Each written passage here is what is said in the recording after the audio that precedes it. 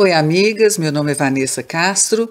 Nós vamos dar continuidade então à leitura do livro Oração Fervente de Priscila Schreier. Hoje nós vamos continuar falando a verdade por trás da sua identidade. Uma das peças da armadura espiritual que nos foi fornecida quando nos tornamos cristãos, em Efésios 6,14, enfoca esta questão com precisão. Nesse contexto, ela é mais comumente conhecida como cinturão da verdade. Para ser mais precisa, com base na história de como era a armadura de um soldado do primeiro século, imagine uma espécie de cinto usado em torno do corpo, com todas as outras peças da armadura inseridas nele, presas nele. Usado meio que sob as demais partes. Uma peça de vestuário fundamental a primeira coisa que um soldado coloca antes de ir para a batalha. A verdade, o padrão e a opinião de Deus sobre nós deve vir em primeiro lugar em nossos corações e mentes, se quisermos ser eficazes na batalha contra o inimigo. Precisamos usá-la como nossa peça de vestuário fundamental e, em seguida, reorientar tudo mais ao redor em função dela. Antes de colocarmos acessórios que estão em moda, antes de sairmos para encarar o dia, artificialmente cobertas por um traje que apenas mascara as mentiras do inimigo, aquelas mentiras sobre nós mesmas que ele nos faz acreditar, devemos começar com os fundamentos da verdade e estar garantidas através da oração pelas declarações da palavra de Deus. Porque a menos que todo o conjunto esteja enquadrado e fixado nessa peça fundamental, não estamos apropriadamente preparados para a batalha espiritual. Não estamos vestidos para a ocasião, não estamos prontos para o que está a caminho. É por isso que o apóstolo Paulo orou tão ferventemente para que a verdadeira identidade dos cristãos do século fosse revelada em seus corações. Ouça isso de novo: ele não estava pedindo a Deus para certificar-se de que os primeiros cristãos recebessem essas coisas. Eles já as tinham. Ele estava orando para que eles percebessem que já as tinham. Não era uma lista de compras, era uma lista de embalagem. Elas não precisavam comprá-las, não precisavam fabricá-las, eles só precisavam reconhecer que já tinham acesso a elas e agora podiam tomar posse delas e aproveitá-las ao máximo. Porque às vezes, mesmo com um armário cheio de roupas, nós olhamos e não achamos nada para vestir. Mas olhe novamente, através dos olhos da verdade. E você pode finalmente perceber que você não recebeu o que precisa, porém muitíssimo mais. Muito, muito mais. Talvez mais uma vez a história de uma experiência entre Eliseu, um profeta do Antigo Testamento, e um de seus servos possa nos ajudar a entender o que deixamos de ver quando não estamos olhando para as nossas vidas através da lente da verdade de Deus. Já na situação do milagre do ferro do machado que flutuou em 2 Reis, é, capítulo 6, sobre a qual falamos capítulos atrás, a Bíblia nos fala de uma guerra que ocorria entre uma nação vizinha, os arameus, e o povo de Israel. Enquanto o rei de Arã estava trabalhando em sua estratégia de ataque, o Senhor mantinha Eliseu informado quanto às intenções e os movimentos do rei. Então Eliseu entregava esses relatórios de espionagem divinamente precisos ao rei de Israel, que reposicionava seus soldados nos locais exatos com estratégias de defesa perfeitamente cronometradas. Isso levou o rei da Síria à loucura. Ele ficou tão enlouquecido que se colocou na caça ao espião que deveria estar infiltrado no seu exército, que entregava a estratégia arameia ao exército adversário. Mas o seu questionamento enfurecido, por fim, levou à verdade, que era Eliseu, com as suas conversas íntimas com Deus, a fonte verdadeira por trás desses vazamentos táticos. E no momento em que o rei cercou a cidade onde Eliseu foi localizado, com a intenção de tirá-lo de lá por meio da força, uma verdade ainda maior estava prestes a ser revelada. O ajudante do profeta acordou cedo naquela manhã e saiu para esticar as pernas ou algo assim, e uau! O lugar estava repleto de cavalos e carros do tilintar de artilharia fiada, cada um deles montado para um ataque cirúrgico. O servo correu de volta para dentro, com um espanto semelhante ao espanto do rapaz do machado. Começou a gaguejar para o seu chefe, tentando lhe explicar sobre o perigo iminente. Eliseu, tranquilo como sempre, lhe disse para não se preocupar, porque aqueles que estão conosco são mais numerosos do que eles. Em seguida, com o mesmo tom e estilo de vida que Paulo exibiu tão naturalmente em Efésios 1, as suas próximas palavras ao seu servo não foram uma lista de próximos passos a seguir ou uma estratégia de batalha para implementar, mas uma oração ao Pai. Senhor, abre os olhos dele para que veja. Isso está escrito no versículo 17. Quando o servo, aterrorizado, se virou para ouvir a oração de Eliseu, o que ele viu não foi a realidade física de tropas cuspidoras de fogo de um exército doido para atacar, mas sim a realidade espiritual de uma multidão de carros angelicais de fogo cercando, protegendo e impedindo qualquer guerreiro do exército arameu de disparar um único tiro ou mesmo dar um único passo em direção a eles. A oração o tornou ciente de todos os recursos e força e proteção que Deus já havia colocado à sua disposição.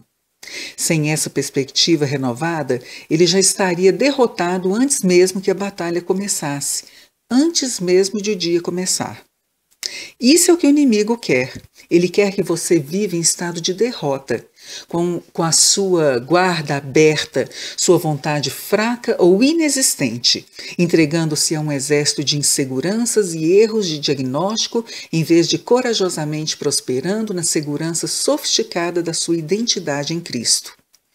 Isso faz você se perguntar então por que tudo que normalmente tendemos a ver quando olhamos para nós mesmos são falhas, imperfeições, inadequações e fraquezas. E com certeza, muitas dessas coisas estão realmente presentes, sujeitas aos nossos próprios recursos. Nós não somos capazes de suportar tudo isso, não sem ajuda. Mas essas dificuldades imperfeições que podem nos desencorajar tão desesperadamente, as que o diabo quer que nos, nos apresentar, como uma soma total de nossa realidade, são realmente uma parte do campo de batalha. E essa é a parte que está preparada para exibir a glória de Deus. O que quer que esteja contra você não é páreo para o poder e autoridade aos quais ele lhe deu acesso. Pode haver exércitos armados contra você, mas eles só estão esperando para se tornarem testemunhas involuntárias do poder incomparável de Deus e do oceano caudaloso de sua graça.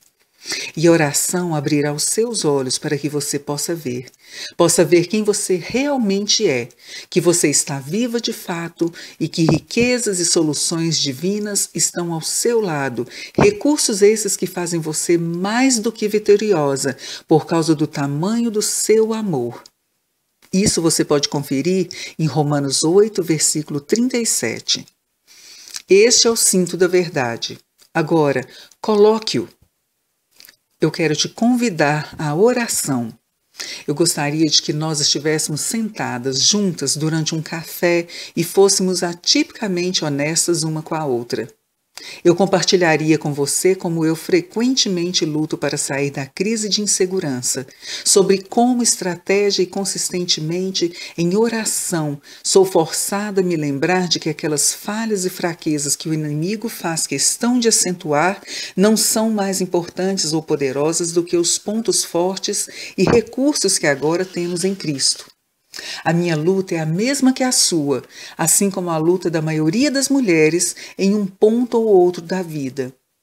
O inimigo tem nos dito por tanto tempo que nós não somos boas, que somos decadentes, mal equipadas, incompetentes, insignificantes, mal amadas e insuficientes. Ele tem nos aplicado uma lavagem cerebral, uma alma feminina por vez. Mas agora nós, nós duas sabemos a verdade. Podemos ver claramente que ele está mentindo com o propósito de nos impedir de tentar lutar contra os seus ataques planejados. Porém, não mais. Nós estamos prontas para ele. E assim como a família que descobriu que a sua amada filha ainda estava viva depois de seis longos dias e noites de sofrimento, estamos animadas, sim, mas também zangadas a respeito dessa informação.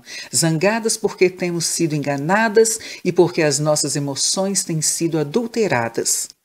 E agora estamos prontas para levar essa santa indignação para a batalha, de joelhos, em oração. Estamos completamente vivas e no caminho da cura e da plenitude. Nossa história não está nem perto de acabar. Nós já estamos sentadas nos lugares celestiais. Nós já estamos trabalhando com armas que o nosso inimigo não tem condições de combater.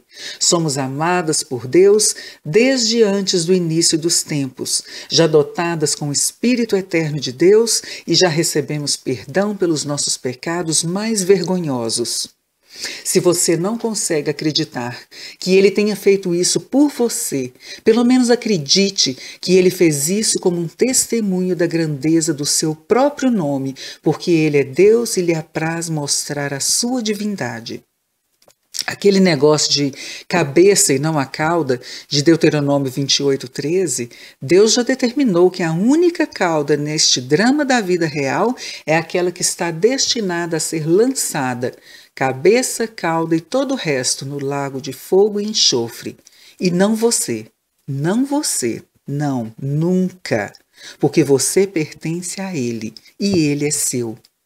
Agora, construa uma estratégia de oração usando essas passagens e outras deste capítulo como pano de fundo para lembrar-se dessa verdade todos os dias para o resto da sua vida.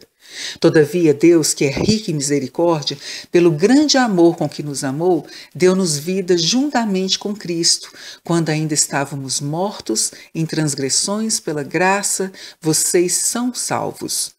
Deus nos ressuscitou com Cristo e com Ele nos fez assentar nos lugares celestiais em Cristo Jesus. A seguir, irmãs, vou ditar a referência dos versículos, porque, como são muitos, vai ficar longo demais o áudio. Anote aí então num papel. Ezequias 16, 10 a 13, João 1, de 12 a 13, Efésios 2, 10, Romanos 8, 15 ao 17, Isaías 51, 1, Deuteronômio 4, 20, Isaías 49, 16, 2 Coríntios 4, 6 e 7, 1 Pedro 2, 9 e Judas 24, 25. Aquele que é poderoso para impedi-los de cair e para apresentá-los diante da sua glória sem mácula e com grande alegria ao único nosso Salvador, seja a glória, majestade, poder e autoridade mediante Jesus Cristo, nosso Senhor, antes de todos os tempos, agora e para sempre. Amém. Até o próximo áudio. Fica com Deus, firme na sua identidade, hein? Até lá.